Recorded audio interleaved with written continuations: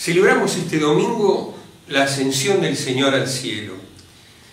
Nosotros podemos experimentarlo como un abandono. Jesús vuelve a su casa, de donde había venido. Podemos experimentarlo como un abandono, como también en medio de esta pandemia, estando en la misma barca, podemos decirle al Señor que se queda dormido, ¿no te importa que nos ahoguemos? ¿Cuántas veces en medio de la situación que estamos viviendo pensamos, Dios nos abandonó, el Señor se fue? Y sin embargo Jesús asciende al cielo para llevar allí nuestra humanidad. Hay algo nuestro que está para siempre junto al Padre y al Espíritu, que es la humanidad de Cristo glorificado. Y desde allí intercede por nosotros no se fue para alejarse de nosotros, sino para estar de otro modo.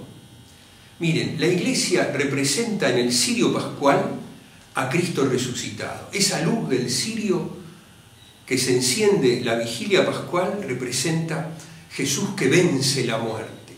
Bueno, esa luz se apagará, pero Él nos enviará otra luz que es discreta, invisible, que es la luz del Espíritu Santo el Espíritu Santo nos da el don de la fe, que es mirar la vida y la historia con los ojos de Dios.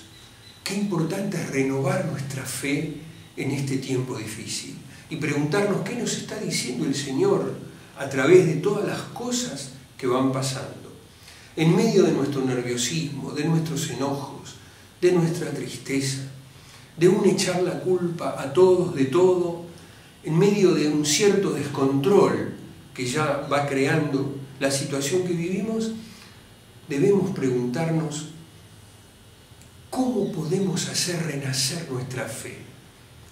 ¿Qué nos está diciendo el Señor? Esa fe que se alimenta con la oración y con los sacramentos, esa fe que me hace ser testigo de lo invisible, como dice la carta a los hebreos, que Moisés vivía como mirando lo invisible, atendiendo lo invisible.